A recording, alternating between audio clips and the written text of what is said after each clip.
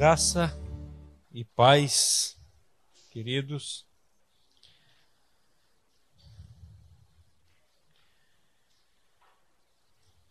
O que é realmente nascer do alto? Vamos ler juntos João 3,3, na linguagem da, da Bíblia Católica. Diz assim: Em verdade, em verdade te digo que se alguém não nascer do alto, não pode ver o reino de Deus. Vamos orar? Pai querido, Paizinho amado, nós sabemos que somente pelo poder da tua palavra, Pai, que é viva e eficaz, nós podemos receber, Pai, a revelação. Por isso, Pai, fala conosco nessa manhã, para que o teu nome seja glorificado nós oramos a Ti, Pai, na certeza de que o Senhor faz infinitamente mais, além daquilo que nós pedimos ou pensamos, segundo o poder do Seu Filho que opera em nós. E a Ele, somente a Ele, seja a honra, a glória e o, a glória e o poder. Amém.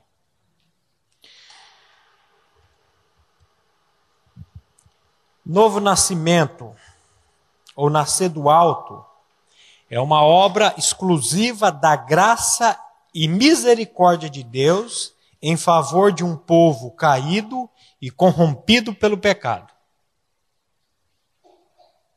Novo nascimento, ou nascer do alto, é uma obra exclusiva da graça e misericórdia de Deus em favor de um povo caído e corrompido pelo pecado. O que é nascer do alto? O que é novo nascimento? Será que novo nascimento é conhecimento doutrinário? Será que novo nascimento é conhecimento de uma doutrina? Somente isso? Será que novo nascimento é você ser batizado nas águas? Será que novo nascimento é você sair de uma religião e vir para outra? O que realmente é novo nascimento. Quero tratar um pouco sobre esse assunto aqui nessa manhã. Porque Jesus disse que aquele que não nascer de novo não pode ver o reino de Deus. Então, esse assunto na Bíblia deve ser, e eu creio que é um assunto muito sério. É... Alguns anos atrás, eu comecei evangelizar uma tia da minha esposa. E fui na casa dela algumas vezes e pregando a palavra, o novo nascimento. E um dia convidei ela para ir na Modelex no estudo. E ela topou e eu fui buscar ela longe. E na volta no caminho eu parei ali na, perto do Mufato. Parei no orelhão, liguei para o na Modelex, pedi para o Odir chamar o pastor Humberto. Falei, eu estou levando uma senhora aí e eu queria que você fizesse aquele estudo da árvore. Você desenha uma árvore, você coloca a raiz, mostrando o pecado, a natureza carnal, e em cima os frutos. Que aquele, para mim, foi bem didático, eu compreendi bem o que era a experiência do novo, do novo nascimento naquele. E chegamos, e ela tinha um problema de alcoolismo, era alcoólatra. E naquele dia ele fez o desenho, explicando, mostrando. E quando ele abriu, pediu para abrir o Gálatas 5, 19, mostrando as obras da carne, eu muito afoito, eu li, as obras da carne são prostituição, impureza, lascívia, bebedice, já pulei. Ele falou: calma, rapaz, lê. E, eu, e ele fez o desenho, mostrou e tal, explicou aquele jeito sereno. Eu, eu não conheço uma pessoa, um evangelista como o pastor Humberto, eu nunca vi um evangelista. E aí saímos dali, fui para a casa dela, levei, continuei levando a palavra mais algum tempo. E depois de uns meses ela mudou ali para a Vila Brasil e um dia na casa dela ela virou para mim e falou: Maurício, eu até hoje eu não entendi uma coisa. Eu falei: O que, Zélia? esse negócio de nascer de novo, que vocês tanto falam, eu não, eu não entendi isso. O que é nascer de novo? E naquele dia, eu falei: se não for por revelação do Espírito, realmente não adianta. Eu disse, mas poxa vida, quantas vezes eu expliquei, quantas vezes eu mostrei, e a pessoa não, não entende. Então, quando Jesus está dizendo aquele que não nascer do alto, novo nascimento é uma obra que Deus vem operar no favor, em nosso favor, em favor das pessoas. Se não for por Ele, é, é, não adianta. Por isso que a Bíblia diz: não é por força, nem por violência, mas é pelo meu Espírito, diz o Senhor dos Exércitos. E eu tenho visto que se não for por revelação do Espírito, é só palavras e palavras e palavras, é só um conhecimento de uma doutrina. Mas por que, que eu preciso nascer de novo? Porque as Escrituras dizem que todos os homens nascem em pecado desde a madre. Como diz Salmo 58, 3, vamos ler juntos. Desviam-se os ímpios desde a madre, desde a sua concepção, nascem e se desencaminham proferindo mentiras. O veredito de Deus para toda a raça humana é Romanos 3, 23. Pois todos pecaram e carecem da glória de Deus. Eu creio que nós precisamos entender, e quando eu digo aqui precisamos entender, é só por revelação do Espírito de Deus mesmo. É só por revelação é, é, é, é, do Santo Espírito, que nós não podemos fazer absolutamente nada para a nossa salvação. Não podemos fazer absolutamente nada. É Deus que vem ao nosso encontro, é Ele que vem operando, é Ele que vem fazendo. A Bíblia é clara quando ela diz que nós estamos mortos em delitos e pecados. A queda de Adão constituiu a queda de toda uma raça. Romanos 5,12, portanto, assim como por um só homem entrou o pecado no mundo, e pelo pecado a morte, assim também a morte passou a todos os homens, porque todos pecaram. Nós precisamos entender que nós estávamos em Adão, que quando Adão pecou, lá no Éden, automaticamente toda uma raça caiu. Eu costumo sempre dizer para as pessoas: se você voltar para o seu avô, bisavô, e for descendo, você vai sair num princípio, você vai sair num, num, numa raça, você vai sair num homem chamado Adão e Eva. Então, quando a palavra de Deus está dizendo aqui que por um só homem, Adão, entrou o pecado do mundo, pelo pecado a morte, assim também a morte passou a todos, porque todos pecaram. que, que eu preciso fazer para nascer em pecado?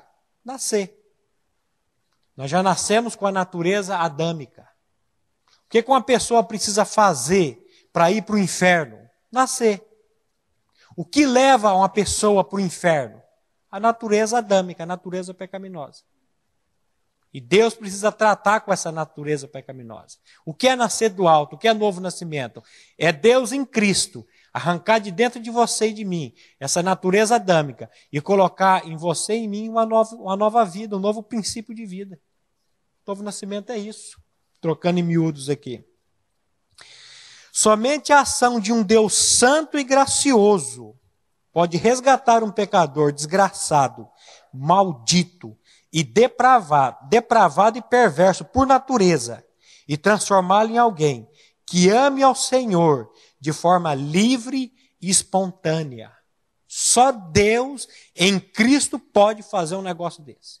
Pegar um pecador, desgraçado, completamente sem graça, maldito por natureza, depravado por natureza, perverso por natureza, e transformar essa pessoa em alguém que ame ao Senhor de forma livre e espontânea. Não por imposição de lei, não com medo de algo, mas de maneira livre e espontânea. Só Deus pode fazer uma operação dessa nas nossas vidas.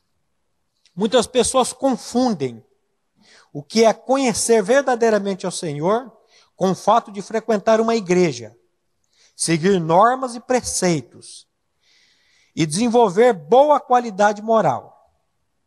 Tais pessoas tornam-se religiosas, tentam agradar a Deus por meio dos seus esforços, ou seja, a força motivadora de seus corações está no seu próprio desempenho. Eu não sei se você conhece alguém assim. Eu não sei se você se olha no espelho todos os dias e está tentando desempenhar algo para a sua salvação todo dia. Está desempenhando, está tentando desempenhar algo para a sua santificação todo dia. Por isso que eu digo, se não for por revelação do Espírito de Deus, nós estamos perdidos. A gente vai ficar nesse desempenho. Eu preciso, eu preciso, eu preciso, eu preciso. Alegram-se por aquilo que conseguem realizar. E quando não conseguem obedecer a Deus ou às leis de Deus, sentem-se culpados e precisam rapidamente achar um meio de pagar o preço do seu pecado. Só que a Bíblia vai dizer que todo o preço já foi pago. Todo o preço já foi pago por Cristo na cruz do Calvário. Mas nós muitas vezes, por ignorância, por uma série de fatores, tentamos pagar esse preço, tentamos fazer, tentamos buscar. E como é difícil você descansar na graça de Deus. Como é difícil você receber a graça de Deus e, e dizer, não, tudo já foi consumado. Tudo já está pronto. Só, só preciso receber. Tais pessoas não foram realmente enxertadas pelo Espírito Santo de Deus. Justamente por isso, a palavra de Deus nos exorta em 2 Coríntios 3,6, o qual nos habilitou para sermos ministros de uma nova aliança, não da letra, mas do Espírito, porque a letra mata, mas o Espírito vivifica. A letra mata, mas o Espírito vivifica. Você pode muitas vezes conhecer a letra, estudar a letra, conhecer a doutrina, mas sem a revelação do Espírito, não tem como. Não tem como. Sem a operação do Espírito, a letra, sem a operação do Espírito, é somente religião. Só religião. O que é religião? Religião é tudo aquilo que eu e você podemos fazer para alcançar a mercê de Deus, o favor de Deus, as coisas de Deus. É todo aquele todo o nosso esforço. Todo o processo da religião parte daquilo que o próprio homem faz, no sentido de, de desempenho, para buscar ele se reconciliar novamente com Deus. A palavra religião vem do latim religare e significa ligar novamente a fonte, a vida, eu costumo dizer que a pior desgraça que existe nesse mundo hoje chama-se religião. Eu sei que isso é pesado, eu sei que às vezes as pessoas ficam bravas de ouvir isso, mas quando você. É é, é, é, é, eu costumo dizer que na minha caminhada cristã, de alguns anos, eu tenho visto o que a religião faz na vida das pessoas faz e tem feito na vida das pessoas. Então eu costumo dizer que religião realmente é uma desgraça. Porque é um desempenho, é uma força. Eu conheci um moço que ele fez o curso de educação de filhos com a gente e, e ele dizia: para mim não tem mais salvação.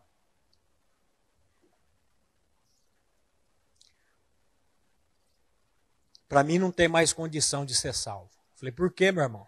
Não, porque eu saí do grupo, eu. Eu falei, não é isso que a palavra de Deus nos mostra. Olha o que a palavra de Deus diz. Mas o negócio estava tão preso, tão arraigado na vida dele, que eu falei, Deus, se não for a tua graça, a tua misericórdia, não tem como. Ele tinha certeza que para ele não tinha mais salvação, porque ele saiu de um sistema. Porque ele pisou na bola no sistema. E aí, quando você vai mostrar o Deus de toda graça, o Deus que vem atrás, o Deus que vem buscar, o Deus que vem fazer, aí a pessoa não consegue compreender isso. Por isso que, se não for por revelação, não tem jeito. A revelação, a religião é a busca do homem, do homem em religar-se novamente com Deus, com base em seus méritos, ou seja, um propósito totalmente inútil e contrário ao que o verdadeiro evangelho propõe. O evangelho significa Deus vindo ao encontro do homem falido e caído, para então religá-lo com ele. Para então religá-lo com ele mesmo por meio da sua graça, manifestada na pessoa de Jesus Cristo. O Dr. Mark Lloyd Jones diz que tudo é pela graça na vida cristã, do início ao fim. Eu acho que ele não está dizendo nada aqui que nós já não conhecemos. Tudo na vida cristã é pela graça. Do começo ao fim, do início ao fim, é tudo pela graça. Quando você olha para Adão, quando ele pecou, ele fez. Não fez? Ele não foi fazer algo lá no. E aqui está todo o problema. Nós querer fazer, nós queremos fazer. Só que não era para ele fazer, era para ele receber a graça de Deus, era para ele receber o que Deus iria fazer por ele. O, o Caim, por que, que descaiu o semblante de Caim? Por que, que ele ficou com o semblante caído? Porque ele não foi aceito. E por que, que ele não foi aceito? Porque ele queria ser aceito por aquilo que ele fez, e não por aquilo que Cristo já mostrando iria fazer. Ele queria ser aceito pelo, pelo suor dele, pelo esforço dele, pelo fruto dele, e não pelo cordeiro, pelo animal que já representava, já tipificava a obra de Cristo na cruz do Calvário. Agora, receber graça, meus irmãos, é uma coisa muito difícil. Compreender a graça é uma coisa muito mais difícil ainda. Porque nós sempre queremos nos esforçar, sempre queremos fazer, sempre queremos estar fazendo algo, mas quando nós olhamos para as mãos de Deus, quando nós olhamos para a palavra de Deus e vimos que tudo é pela graça. O apóstolo Paulo nos afirma em Romanos 1,16: Eu não me envergonho do evangelho, pois ele é o poder de Deus para salvar todos os que creem, primeiro judeus e também os não-judeus. O evangelho não é algo que se deve fazer para se salvar. Pelo contrário, ele relata como Deus providenciou o único método de salvação e a maneira de aplicá-lo. Essa, essa versão da nova tradução da linguagem de hoje, que ele diz que o evangelho não é algo que se deve fazer para se salvar, pelo contrário. Não. O Evangelho é o poder de Deus para salvar todos os que creem. Primeiro, os judeus e também os não-judeus. O Evangelho não é algo que se deve fazer para se salvar. Pelo contrário, ele relata como Deus providenciou o único método de salvação e a maneira como aplicá-lo. O Evangelho é uma coisa maravilhosa. Evangelho é algo que eu não tenho que estar me esforçando, mas recebendo tudo que foi feito em meu benefício. O Evangelho nos mostra como Deus aceita o homem caído somente por meio da fé, do começo ao fim. É somente pela fé. Paulo vai dizer aos Gálatas que a lei nos serviu de aio para nos conduzir a Cristo. Aio é guia. Pedagogos. A lei serve para pegar, pegar na minha mão e na sua mão e nos levar a Cristo e dizer: olha, aqui tem a solução. Aqui ele opera, aqui ele faz. E depois ele vai dizer assim: mas tendo vindo a fé, já não, não permanecemos subordinados ao guia, ao aio.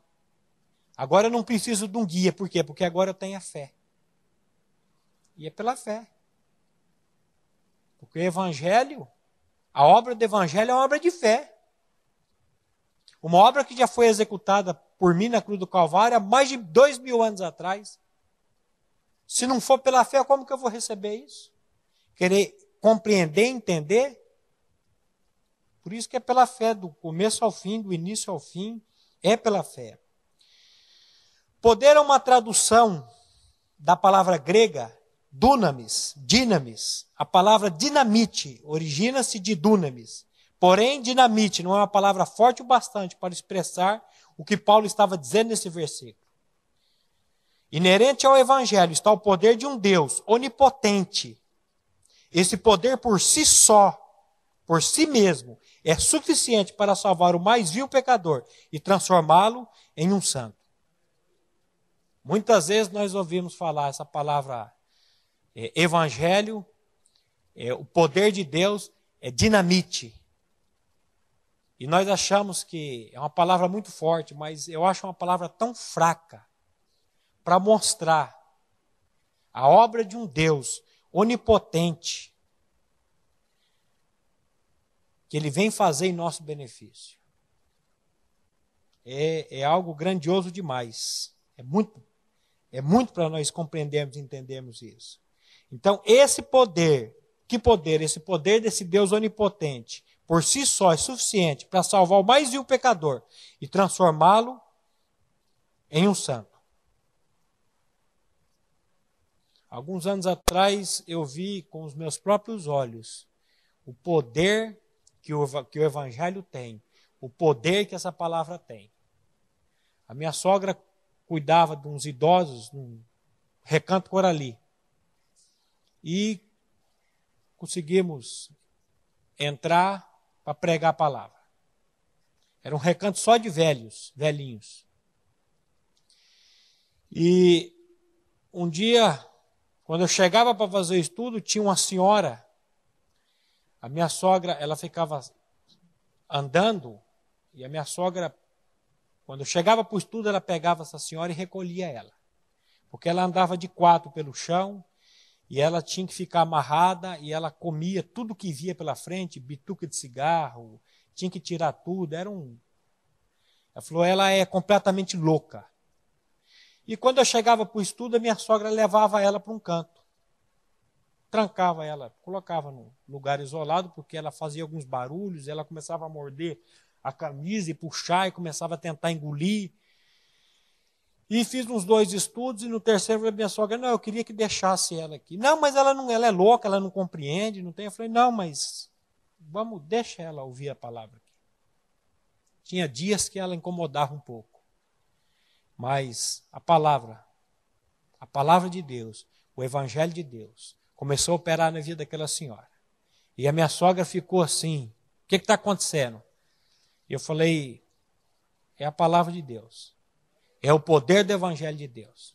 E quando eu saí daquela, daquele lugar pregar o Evangelho, ela já estava andando normal, ela já estava tendo lucidez, e eu creio que a minha sogra viu ali o poder do Evangelho de Deus. Então, é, é, às vezes nós subestimamos o poder da palavra, o poder do Evangelho. Às vezes nós achamos que não podemos, que não, não sei pregar, não sei falar, mas apenas o testemunho da palavra, apenas o poder da palavra, quando é lançada essa palavra, a, a, Bíblia diz que a palavra de Deus não volta vazia, mas ela faz aquilo pela qual ela foi designada. E essa palavra, ela tem esse poder para fazer essa obra na vida de qualquer pessoa, qualquer um. John MacArthur Jr., diz que a mensagem do Evangelho é o veículo através do qual o poder transformador de Deus invade uma alma e realiza o novo nascimento. Olha só, o Evangelho é o veículo, o Evangelho é o meio. É o meio através do qual o poder transformador de Deus invade uma alma, invade uma vida, invade uma pessoa e realiza o novo nascimento e realiza o nascer do alto. Essa transformação de velha criatura para nova criatura, essa transformação de filho do diabo para filho de Deus, essa transformação que só ele pode fazer. Só ele pode fazer. O evangelho não é uma nova ideia ou uma filosofia de vida, muito menos uma decisão tomada pelo próprio homem como partindo dele mesmo para seguir a Cristo. Pelo contrário, evangelho é pura ação divina. Evangelho é Deus agindo. Evangelho é Deus dando e fazendo, é Deus dando e realizando tudo por você e por mim. E qual que é a minha parte? Ouvir esse evangelho, conhecer esse evangelho. E Jesus disse, muito bem dito, e conhecereis a verdade, e a verdade vos libertará. Não é conhecer sistemas religiosos, doutrinas de sistemas religiosos, mas é conhecer a verdade. Que verdade é essa? A verdade do Evangelho. E quando Jesus vai falar da verdade, ele fala: a verdade sou eu. Conhecereis a verdade, e a verdade vos libertará. Aí ele fala: eu sou o caminho, eu sou a verdade, e eu sou a vida. E ó, e ninguém vem ao Pai senão por mim. Conhecer a verdade, conhecer o Evangelho, é conhecer a Cristo e a obra de Cristo realizada naquela cruz. E tomar posse. E aí Deus começa uma obra na minha e na sua vida, uma obra de dentro para fora. E ele vai operando, ele vai fazendo e você fica somente olhando e dizendo e dando glórias agradecendo a ele por tudo. O evangelho não é um conjunto de regras impositivas dizendo o que se deve ou não deve fazer. Nem tampouco é um livro de alta ajuda, ensinando que se, que se deve confiar em si mesmo. Pelo contrário, o Evangelho diz: negue-se a si mesmo.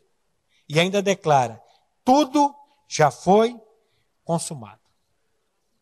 Quando Jesus rendeu o Espírito naquela cruz, em João 19, 30, ele vai dizer: tudo está consumado. Que tudo é esse? É o tudo da sua salvação e da minha salvação. Que tudo é esse? É o tudo do Evangelho. Que ele executou lá naquela cruz, por você e por mim. A principal ofensa da cruz para a humanidade é que ela tira o homem do centro. Olha só. A principal ofensa da cruz para a humanidade é que ela tira o homem do centro. Não aceita desse homem qualquer movimento. Pelo contrário, retira dele todo esforço e mérito. Essa é a razão por tanto ódio pela cruz. Olha por que o ódio pela cruz. Porque ela tira todo o movimento seu. Ela tira todo o crédito meu e seu. Porque é uma obra que já foi feita, é uma obra que já foi consumada, eu só preciso recebê-la. E aí, quando eu não faço, aí a pessoa fica, mas e o que eu fiz? Não, não adianta, não resolve. É tudo que já foi feito por você e por mim na cruz. Isso acontece devido a uma educação condicionada no desempenho. Se você for bom aluno, bom filho, bom funcionário, bom marido, boa esposa, então terá recompensas. Você vê como é que funcionam as coisas? É tudo na base da troca.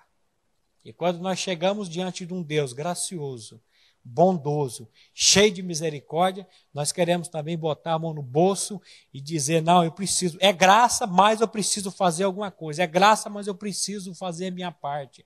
É aquele versículo que dizem aí, faça a tua parte que eu te ajudarei, que não, não existe ele na Bíblia.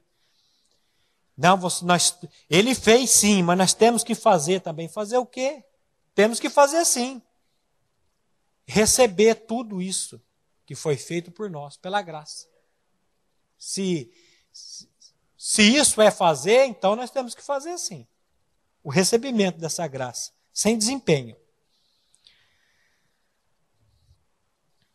O homem acaba por transferir esse desempenho também para Deus, tentando religar-se com Ele por meio das suas próprias obras.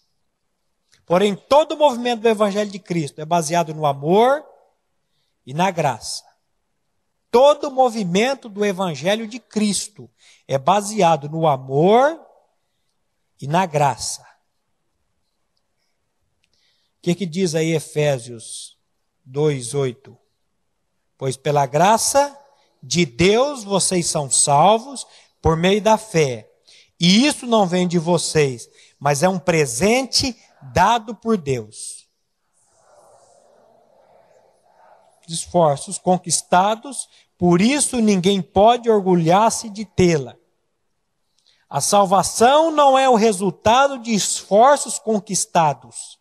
Por isso, ninguém pode orgulhar-se, orgulhar-se de tê-la.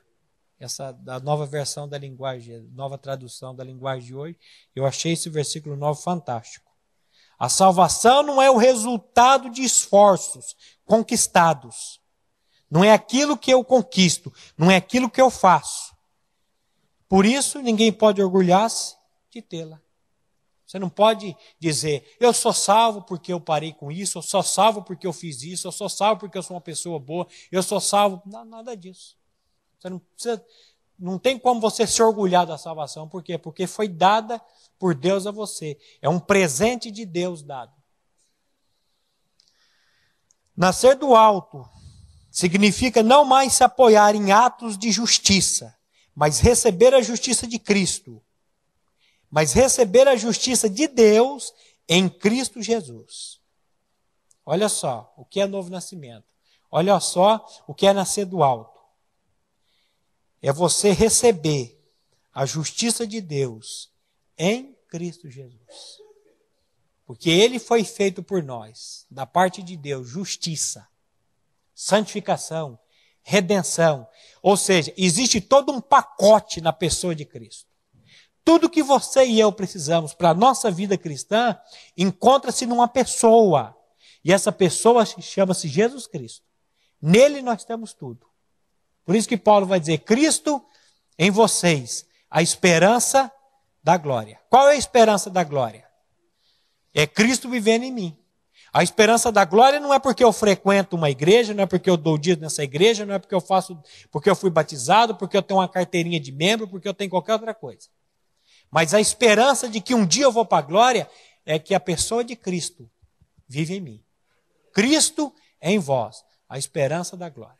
Eu sempre falo desse texto de 1 João porque eu acho ele para mim claro, límpido, perfeito. Quando ele diz assim, 1 João 5,11, o testemunho é este. Dois pontos.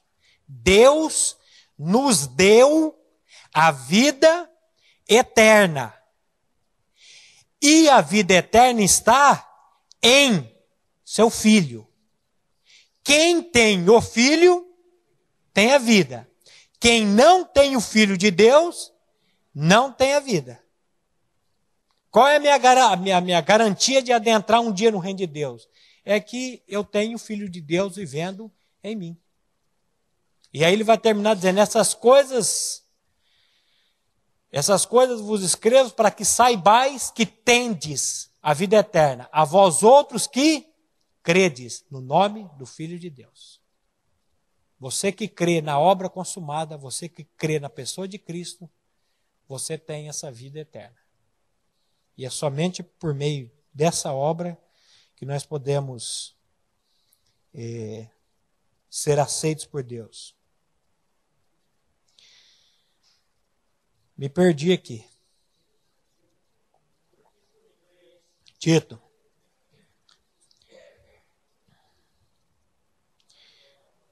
Tito 3, de 5 a 7. Vamos lá. Não por obras de justiça praticadas por nós, mas segundo a sua misericórdia, ele nos salvou mediante o lavar regenerador e renovador do Espírito Santo, que ele derramou sobre nós ricamente por meio de Jesus Cristo, nosso Salvador, a fim de que, justificados por graça, nos tornemos seus herdeiros segundo a esperança da vida eterna um dia, entrando num recanto Corali para fazer um estudo, a dona Antônia sentadinha fazendo tricô na cadeira de. Depois de uns três estudos, ela fazendo tricô, e ela virou e falou assim: Pastor, vem aqui. Eu falei: Não sou pastor, não. Ela falou: oh, Eu tinha uma filha, e essa filha, ela era maravilhosa. E começou a dar os predicados e falar da moça. Olha, ela tivesse no terminal para pegar o ônibus e visse uma pessoa com fome, ela dinheiro ela não dava. Mas ela vendia o passe, comprava um lanche, dava para a pessoa. ia embora a pé, e fazia isso, e fazia, e fazia, e foi falando, falando, falando, falando, falando. E eu fui lembrando de Jó. E ela virou para mim e falou assim: e ela foi assaltada aqui em Londrina, e o bandido estrangulou e matou ela. Ela está no céu ou está no inferno? Eu, neófito na fé, novinho na fé, eu falei, meu Deus, o que, que eu vou dizer para essa mulher aqui agora? Aí eu lembrei desse texto. E eu abri esse texto e falei para ela, Dona Antônia, a Bíblia diz que não é por obras de justiça praticadas por nós. Eu li, não por obras de justiça praticadas por nós, mas segundo a sua misericórdia, ele nos salvou, mediante o lavar regenerador e renovador do Espírito Santo, que ele derramou sobre nós ricamente por meio de Jesus Cristo, nosso Salvador, a fim de que, justificados por graça, nos tornemos seus herdeiros, segundo a esperança da vida eterna. Eu falei, Dona Antônia, se a sua filha nasceu de novo, ela está no reino de Deus. Se ela não nasceu de novo, ela não está no reino de Deus. Ah, mas ela fazia isso, isso, isso, isso, isso. Eu falei, olha, a Bíblia está dizendo que não por obra de justiça praticadas por nós, mas segundo a sua misericórdia. E naquele dia ela ficou brava comigo, zangou e saiu. E eu chegava para o estudo, ela saía. E foi umas duas, três vezes, depois ela começou a voltar e eu ouvi a palavra novamente. Porque às vezes a pessoa se agarra na, na, justiça própria, naquilo que ele faz, quando a Bíblia diz, ó, se, é pelas, se é pelas obras, já não é pela graça. Do contrário, a graça já não é graça. Se é pela graça, já não é pelas obras. De outra maneira, Então é graça. Não é porque eu faço isso, porque eu deixei de fazer aquilo, mas é por causa da obra de Cristo no meu favor. Por causa da obra redentora de Cristo que eu sou salvo. A palavra evangelho significa boas novas, boa notícia, alegres novas. O anjo, ao trazer o anúncio do nascimento de Jesus, traz incutido a palavra evangelho, como está escrito em Lucas 2, 10 e 11. O anjo, porém, lhes disse: Não temais, eis aqui vos trago boa nova de grande alegria, e que será para todo o povo. É que hoje vos nasceu na cidade de Davi o Salvador, que é Cristo o Senhor. Olha só. O anjo, porém, lhes disse: Não temais, não temas, não temas. Segundo os estudiosos, existe 366 vezes a expressão na Bíblia não temas ou não temais. Uma para cada dia do ano. E quando tem lá o ano bissexto, tem lá o 366. Parece que Deus está dizendo para você e para mim todos os dias: não temas. Mas o seu problema e o meu problema é que nós queremos estar no controle das coisas. E aí está aí. Então ele está dizendo: não temais, eis que vos trago boa nova de grande alegria, que será para todo o povo, não é para um grupo, é para todo o povo. Aqui é o anúncio do Evangelho. É que hoje vos nasceu na cidade de Davi o Salvador, que é Cristo o Senhor. Aí depois no versículo seguinte ele vai dizer: E isso será por sinal: encontrareis uma criança envoltos em pano, numa manjedoura. Olha o sinal. Nada grandioso, nada pomposo, mas uma coisa simples. Simplicidade. Quando Paulo vai dizer, eu temo que assim como a serpente enganou a Eva, com a sua astúcia, de alguma maneira sejam corrompidos os vossos, os vossos entendimentos e vocês se apartem da simplicidade e pureza, ou da simplicidade que há em Cristo Jesus, a simplicidade do Evangelho. Como o Evangelho é simples. E como que nós muitas vezes queremos complicar o evangelho. E como com, queremos complicar e como complicamos o evangelho. Mas o evangelho é simples. O evangelho é anúncio da morte e ressurreição de Cristo. E a minha morte, nós vamos ver aqui agora, e a minha morte e a minha ressurreição juntamente com Cristo. Esse é o anúncio do evangelho. E muitas vezes nós queremos complicar isso. Então, quando ele traz aqui a notícia, quando o anjo vem trazer a notícia do nascimento de Jesus, já está incutido aqui o Evangelho. E o Evangelho é uma nova de grande alegria. O anúncio do Evangelho é o anúncio do Evangelho é o anúncio da morte e ressurreição de Cristo. E também o anúncio da morte e ressurreição do homem, juntamente com Cristo. Não existe novo nascimento. Não existe nascer do alto sem a morte do pecador. Assim como não existe vida sem a morte do grão de trigo. Jesus disse isso em João 12, 24. Em verdade, em verdade vos digo: se o grão de trigo caído na terra não morrer, fica ele só, mas se morrer, produz muito fruto. Sem a morte do pecador com Cristo, não existe nova vida. Por isso, Cristo, ao ser levantado na cruz do Calvário, atraiu toda a humanidade a si mesmo, como ele próprio diz em João 12, 32. E eu, quando for levantado da terra, atrairei todos a mim mesmo. Paulo explica essa atração de forma clara e coerente em Gálatas 2, 19 e 20. Porque eu, mediante a própria lei, morri para a lei, a fim de viver para Deus.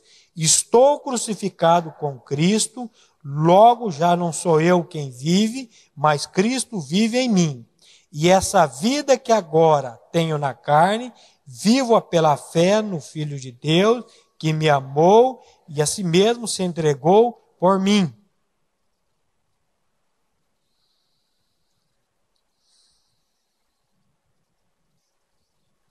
Paulo, quando ele passou por essa experiência de ser um religioso para ser uma nova criatura, ele está traduzindo isso aqui. E ele era um homem que seguia a lei, um homem que era cumpridor da lei, um homem que era irrepreensível segundo a lei. Mas ele vai dizer: Eu, mediante a própria lei, mediante a lei, morri para a lei, a fim de viver para Deus. Aí ele fala: Já estou crucificado com Cristo, e vivo não mais eu, mas Cristo vive em mim. O que é novo nascimento? O que é nascer do alto? É Deus em Cristo tirar de dentro de você e de mim essa velha natureza, esse velho eu, e colocar dentro de nós. Não um, um, um rótulo, não um título, igreja tal ou qual, mas uma nova criatura em Cristo Jesus. Por isso que Paulo diz: se alguém está em Cristo, em Cristo, é uma nova criação, é uma nova criatura. As coisas velhas já passaram e eis que tudo se fez, se fará novo. Porque aquele que começou uma boa obra, ele há de aperfeiçoá-la. Você pode ficar tranquilo. Que Deus não começa uma obra na vida de uma pessoa e abandona no meio do caminho. Você e eu fazemos isso. Quantas vezes? Às vezes começa o ano, não, o ano que vem eu vou começar, e eu vou fazer um regime, e eu vou voltar para a academia, e eu vou fazer isso, e aí começa e dura uma semana, duas semanas, um mês, daqui a pouco abandona tudo. Mas o Deus de toda a graça, que em Cristo vos chamou a sua eterna glória, depois de ter despadecido por um pouco, Ele mesmo vos há de fundamentar, fortificar e fortalecer. A Ele seja a glória para todos sempre. Amém. É Ele que faz, é Ele que opera. Isso é, isso é evangelho. O Evangelho é uma obra maravilhosa. Paulo, em Efésios, também testifica a obra redentora de Cristo. Em Efésios 2,6. Juntamente com ele, nos ressuscitou e nos fez assentar nos lugares celestiais em Cristo Jesus. Ó. Juntamente com ele, nos ressuscitou. O que é evangelho? Morte e ressurreição de Cristo. E a minha morte e a minha ressurreição juntamente com Cristo. Cristo, quando ele morreu lá naquela cruz, ele está dizendo: e eu, quando for levantado, eu vou atrair todos a mim. Porque a lei exigia e exige a morte do pecador. O salário do pecado é a morte. A alma que pecar, essa terá que morrer. Como nós nascemos em pecado, nós temos que morrer. Ele vem numa cruz, morre no meu lugar, mas me faz, me atrai e me faz morrer juntamente com ele, com ele. E ali ele me mata. E na ressurreição, eu ressuscito juntamente com ele, como Paulo está dizendo aqui. E juntamente com ele nos ressuscitou e nos fez assentar nos lugares celestiais em Cristo Jesus. O que aconteceu fisicamente com Jesus aconteceu espiritualmente com você e comigo. E nós temos que tomar posse dessa verdade, sem querer entender. Porque se você for querer compreender isso, você está perdido. Se você for querer que isso entre na sua lógica, você está perdido. Como que uma pessoa que nasce dia 15 de junho de 1970 foi atraída em Cristo, que morreu há mais de dois mil anos atrás? Como é que funciona isso? Se eu não existia. Por isso que é fé. Quem está dizendo? A palavra de Deus está dizendo. Se a palavra de Deus está dizendo, eu coloco o dedo em cima e, diz, e digo amém. Essa palavra amém significa assim seja. Se o Senhor está dizendo, Pai, que eu fui crucificado com seu filho naquela cruz, eu não entendo, não compreendo, mas se o Senhor está dizendo isso, eu creio nessa verdade. E quando você diz amém, você está abrindo a porta. E aí o Senhor vai começar uma obra na sua vida. E quando ele começa, ele não para mais. Evangelho é isso, morte e ressurreição de Cristo. Eu ouvi lá em Ubatã, depois que o pastor Dagoberto pregou à noite. No outro dia, o pastor da igreja dizendo assim: Eu Descobri ontem que eu fui crucificado com Cristo na cruz do Calvário. E será que você está descobrindo hoje que você foi crucificado também com Cristo na cruz do Calvário? E será que você vai crer nessa obra, que você foi crucificado com Cristo, e você vai se entregar diante desse Deus de toda a graça e falar: Senhor, eu preciso dessa obra na minha vida. Opera essa obra na minha vida. Com que propósito? Que o teu nome seja glorificado na minha vida. Deus Pai estava em Cristo reconciliando consigo mesmo todos os pecadores por meio de seu, de seu amor, que excede todo entendimento. Por isso que a sua palavra diz em 2 Coríntios 5, 18 e 19. Ora, tudo provém de Deus, que nos reconciliou consigo mesmo por meio de Cristo e nos deu o ministério da reconciliação, a saber, que Deus estava em Cristo reconciliando consigo mesmo o mundo, não imputando aos homens as suas transgressões, e nos confiou a palavra da reconciliação. Sem a revelação do Divino Espírito Santo, o homem jamais, jamais poderá entender essa atração de cordas humanas e laços de amor de Deus pelo homem caído. Sem a revelação do Espírito não tem como você compreender isso. Que Deus estava em Cristo reconciliando. Tudo provém de Deus. Esse texto eu acho ele, ele, ele fantástico. Ele é, é um dos primeiros textos que nós lemos no curso de educação de filhos. A primeira lição do curso de educa... Educação de Filhos é o Ministério da Reconciliação. Vai falar desse Ministério da Reconciliação. E vai falar desse versículo, que tudo provém de Deus, que nos reconciliou consigo mesmo por meio de Cristo. E nos deu o ministério da reconciliação, a saber que Deus estava em Cristo, reconciliando consigo mesmo o mundo, não imputando aos homens as suas transgressões, os seus pecados, e nos confiou a palavra da reconciliação. E nós dizemos para os participantes: primeiro, meu querido, você precisa se reconciliar com Deus, por meio de Cristo, por meio da obra, e depois Deus vai lhe dar o ministério da reconciliação. E agora você pode reconciliar o seu filho com Deus, que é o maior, o maior patrimônio que você pode deixar para o seu filho hoje é a certeza do reconciliamento dele com Deus por meio da graça. Agora ninguém pode dar o que não tem. Por isso que ele vai dizer lá em Deuteronômio: essas palavras que hoje te ordeno, primeiro estarão em teu coração. Depois ele diz: Tu as inculcarás a teus filhos e falarás, falarás andando pela casa, ao deitar, ao levantar, pelo caminho.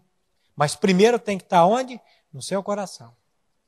Então, se você primeiro não se reconciliar com Deus e não tiver uma experiência com Deus, como é que você vai levar o seu filho a ter uma experiência com Deus?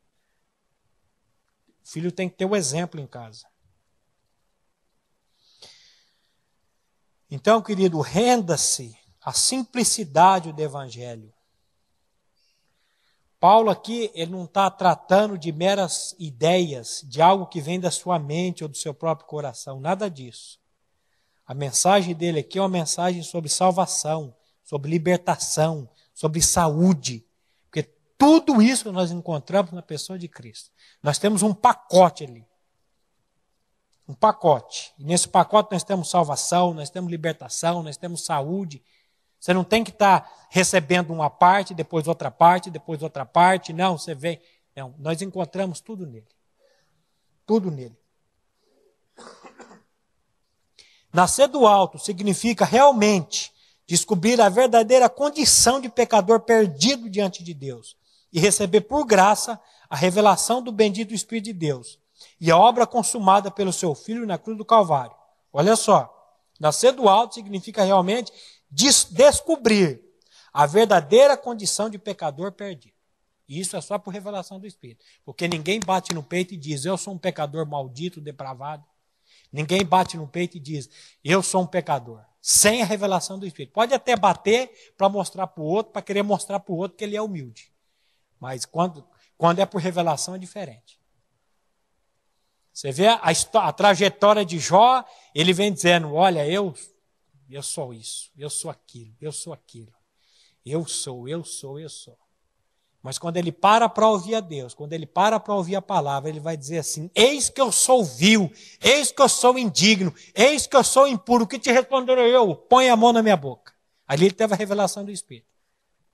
E ele não tinha do que se arrepender, não, porque a Bíblia, no, no, no primeiro capítulo do livro de Jó, havia um homem na terra de Uz, cujo nome era Jó, íntegro, reto, temente a Deus e desviava-se do mal. E ele era tudo isso. Só que era com a justiça própria dele e não com a justiça de Deus. E quando você é com a sua justiça, o negócio fica fedorento. O negócio começa a feder. E você começa a ficar muito achando que é.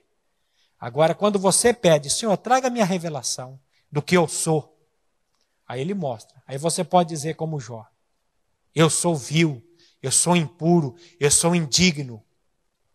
Depois ele vai dizer: Eu te conhecia de ouvir falar, mas agora os meus olhos te veem. Por isso eu me abomino e eu me arrependo no pó e na cinza. É só por revelação do Espírito de Deus que você e eu podemos chegar a essa condição. E como é que eu chego a essa condição? Peça a Ele. Peça ao Espírito. E Ele vai trazer essa revelação para você.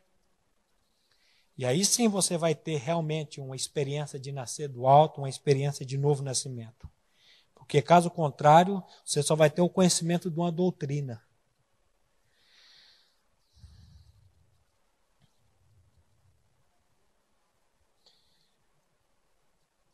Nascer do alto significa realmente descobrir a verdadeira condição de pecador. Tudo que foi dito aqui, ó.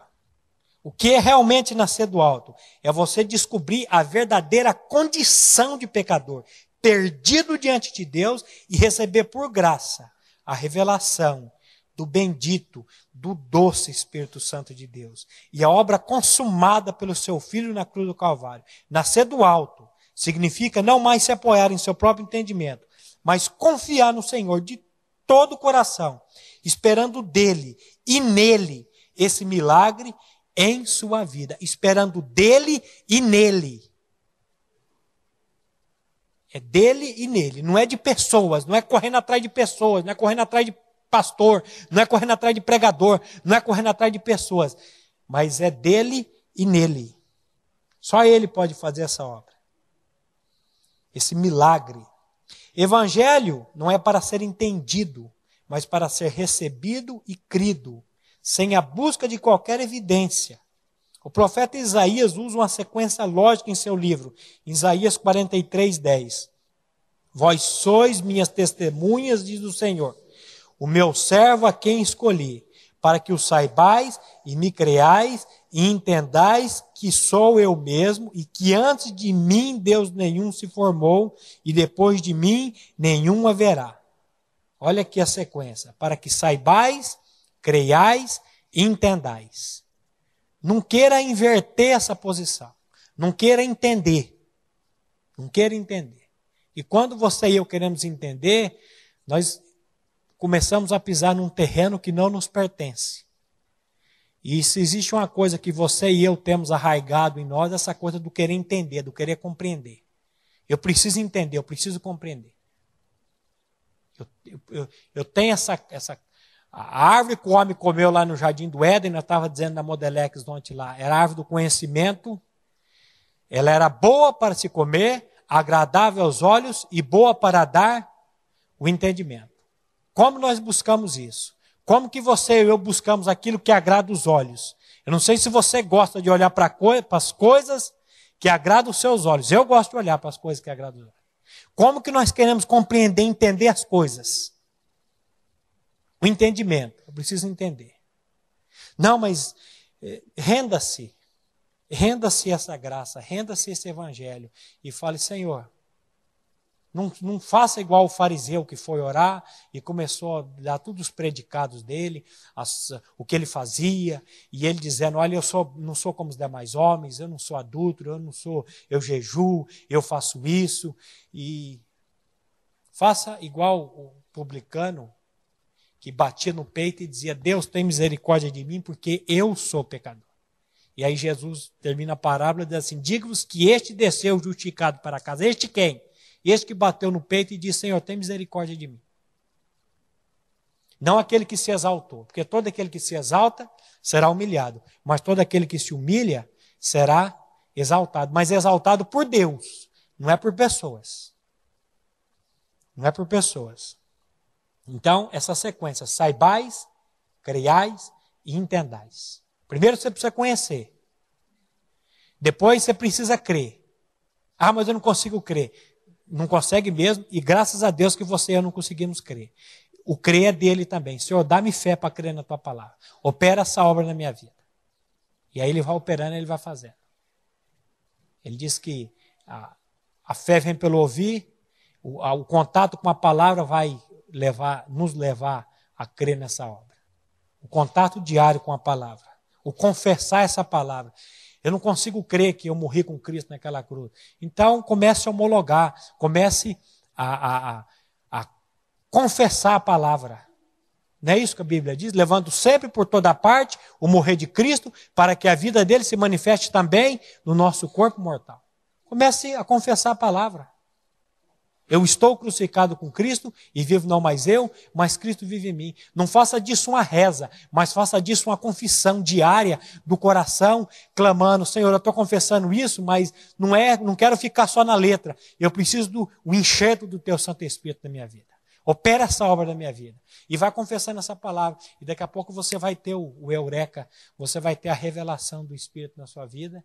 E aí você vai descansar nessa graça tranquilo, sossegado. Que o bendito Espírito Santo possa abrir os olhos do nosso entendimento para reconhecermos tão grandiosa obra feita, gratuitamente pela sua graça, em favor de um, de um povo perdido e sem merecimento algum, para que assim toda a glória, honra e poder sejam dadas somente para aquele que é digno de receber. Amém? Que o Espírito Santo de Deus possa realmente trazer essa revelação nos nossos corações, para que nós possamos descansar nessa obra e ter essa experiência de nascer de novo, de nascer do alto. Então, o que é realmente nascer do alto?